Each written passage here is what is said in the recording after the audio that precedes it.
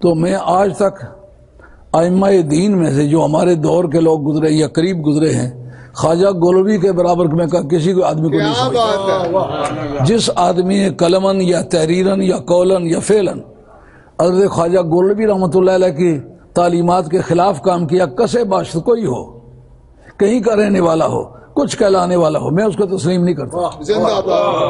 اس لیے کہ مجددین کی سب میں سب سے بڑے درجے کا وہ آدمی ہوتا ہے مجدد جی۔ کہ جس کے زمانے کا فتنہ سب سے بڑا ہو۔